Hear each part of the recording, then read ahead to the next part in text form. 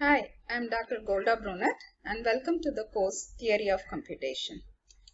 In this video, we are going to discuss about what is theory of computation, that is what we essentially learn in this course and why we need to learn this course. The title of the course is Theory of Computation. That is the theory behind computation. So let's try and understand what is computation first. What is computation? From computer science and engineering perspective, the computation means writing a program or executing a program. So we can say computation is a program. So is it then the theory of programs? Yes, to some extent, but we are not going to deal directly with programs, but we are going to deal something more fundamental to programs. Remember, when you start learning a programming language, we don't write the programs directly. Instead, we solve the problem using more generic tool called the algorithm.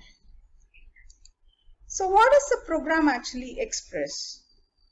Does it not express an algorithm? So every program expresses an algorithm. So is it then the theory of algorithms? Maybe. So let's try and understand what is algorithm. An algorithm is a finite, effective, well-defined, step-by-step recipe for transforming the inputs to outputs. So the algorithm accepts the input x and transform it to the output f of x.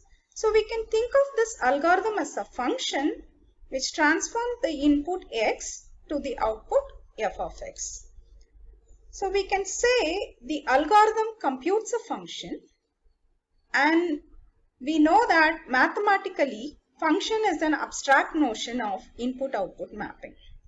So what is a function? Any function f is a mapping from the domain D to the range R. For example, is prime is a function which maps the inputs from numbers to the range which is boolean which is yes or no. So we can expand the function is prime which accepts the input n a number and outputs yes if n is prime and no if n is not a prime number. It is what to note here that the functions just give the mapping between the input and output and does not provide how to decide or how to compute the function. For example, here we just give the mapping if n is prime it has to give s as output otherwise no. But we haven't specified how to decide if n is prime or not. Unfortunately, we have an algorithm to decide if a given number is prime or not. So we can conclude that every algorithm computes a function. Is the reverse direction true? That is, can every function be implemented as an algorithm? Unfortunately, no. So we can divide the set of functions into two subsets. One subset allows the algorithm to be expressed to compute the function. The other set of functions does not permit any algorithm to compute them.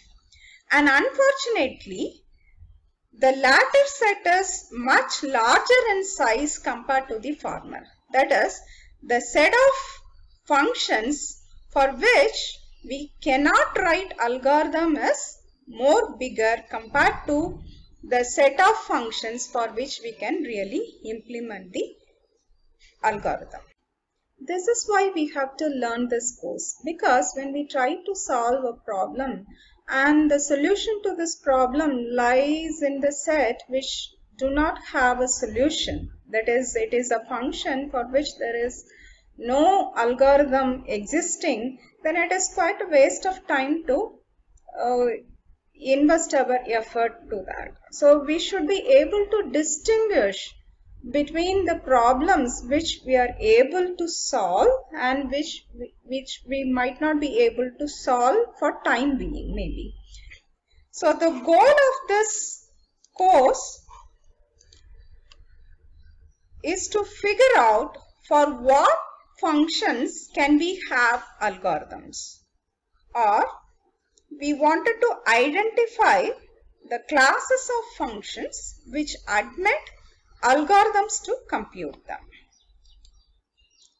So to achieve the goal, we require the knowledge of techniques to demonstrate that a function does or does not admit any algorithm. So are we going to deal with functions in this course then? Not directly, but we are going to deal with even more fundamental concept, the set membership problem. So what is set membership problem? Assume S is a set and the set membership problem is defined like this. Given any A, to decide if A belongs to S. What is the relation between the functions and the set membership problem? Let's see. For any function f, from domain to range, there is a very natural set associated with it called the graph of f. The graph of f is defined as the set of all tuples a comma b such that f of a is equal to b. The relation between the function and the set membership is like this. If we are able to show that there is no algorithm to solve the set membership problem of the graph of f, then we can conclude that there is no algorithm to compute f. Why? Because if you wanted to show the set membership of the graph of f, you have to compute f of a. That means that you should have an algorithm to implement the function f. So we can define the set membership like this. Assume there is an algorithm to compute f. So the set membership accepts two inputs a and b and returns true only if b is equal to f of a. Otherwise it returns false. So what does it buy? Why should we go from functions to set membership? Because set membership is more fundamental than functions. So we can just concentrate on set membership. Is that all? We are yet to go a little further. The sets that we deal in this course are not general sets. So to understand what kind of sets we use in our course, let's understand some terminologies. Symbols. Symbols are basic units which are undividable and examples include 0, 1, A or B, something like this. Alphabets are finite set of symbols. For example, 0 and 1 are alphabets of binary number system. A, B, C, D, etc. up to Y, Z are alphabets of English. The next is string which is the ordered sequence of symbols. Example, a binary string of length 4 is 1010. It can be 1111 or it can be like 0111 and so on. Suppose sigma is an alphabet. Sigma star denotes the set of all finite strings over sigma. Example, Suppose sigma is the binary symbols 0 and 1. Sigma star will include the set of all strings which are finite length in binary. That is, sigma star is an infinite set which includes all binary strings. And if you take any string in the set, the length of the string is finite. But the length is not limited. It can have any arbitrary length, but it has to be finite. A formal language L is a subset of sigma star. For example, if sigma is 0 and 1, we can define a formal language L which includes four elements which is 0, 0, 1, 1, 1, 1, 1, 0, 1, 0.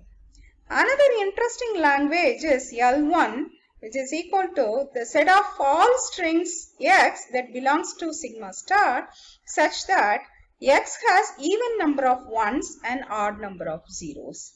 And we are more interested in languages of this sort like L1 because this set of strings, the x, has some property associated with it or it has a characteristics which define the string to be a member of L1 and we are interested in such languages. Finally, the theory of computation is concerned about the set membership problem of formal languages. Is it too restrictive? No. Why? Because if you take the set membership problem in the general way, the input is anyway a string. But the output of set membership problem is boolean, yes or no, which is not a string. But if you consider the way by which we have implemented the set membership uh, problem using graph of f, we pass both the input A and B. So the input A is a string and the output is also a string which is also passed as input and the pair of strings A and B together makes another string and the set membership will return yes or no as output. So it is not restrictive to learn the set membership problem of formal languages to actually understand the theory of computation. In this course, we will consider three different computation models with different capacities of computations and answer what kind of set membership problem can these computation models can solve. And all these notes have been taken from the NPTEL course taught by Professor Biswas from IIT Kanpur and the link for this course is also given.